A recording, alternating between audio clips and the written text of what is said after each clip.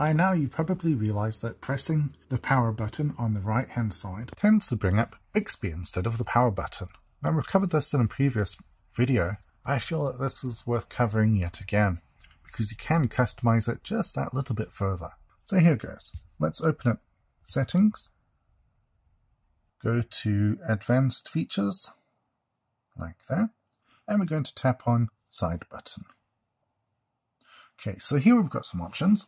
I already have it set to give the power off menu when I press the side button. You can of course go back to asking it to wake Bixby. When double pressing the power button, you can ask it to open up any app of your choosing.